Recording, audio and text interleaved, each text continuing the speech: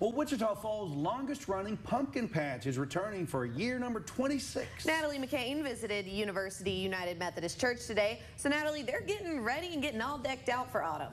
Yeah, Carney, that's right. But between its pumpkin patch tradition and just its third pumpkin festival coming up, church members say it's more than just family fall fun. It's a chance to bridge the congregation with the community.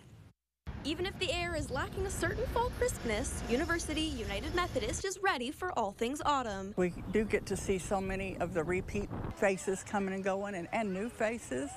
Um, it's a joy to see them year after year. Returning for year 26, hundreds of pumpkins await carving. While Wichita Falls' longest running pumpkin patch may be a staple for some, senior pastor Zach Landis hopes their third pumpkin festival gets the community equally pumped up. Our Boy Scout troop has been doing um, a camp out every every year in the pumpkin patch, and then they've been watching movies up on our on the side of the church, and we're like, why don't we just open that up to other to the community? For church members like Debbie Yancey, both autumnal activities bring out the best parts of the season. We really enjoy having the pumpkins out here for, to bring in that season, and the fellowship that we have out here is just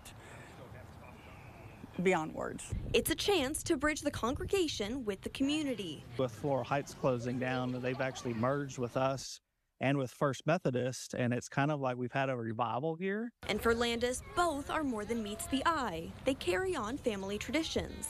He had been coming every year with his mom to the pumpkin patch every year of his life, and is now bringing his son and his wife and his and his mom, the grandma. That is such a cool thing when you're thinking it's just a pumpkin patch, but it means a lot to a lot of people. As the church sets out for fall fellowship. Now, the festival kicks off this Saturday night from 6 to 8 with games, food, and it's the Great Pumpkin, Charlie Brown. Yancey says all are welcome for the free festival. Just don't forget your lawn chairs. For Pumpkin Patch Hours, click inside this story on our website. Oh, I bet they're going to have a big turnout. I know. Even though we're not getting that rain that we mentioned earlier, this is a really great opportunity. Take the opportunity to enjoy this nice weather and get out there and enjoy yeah. that pumpkin patch. It's going to be a good time. Mm-hmm. Natalie, thank you very much.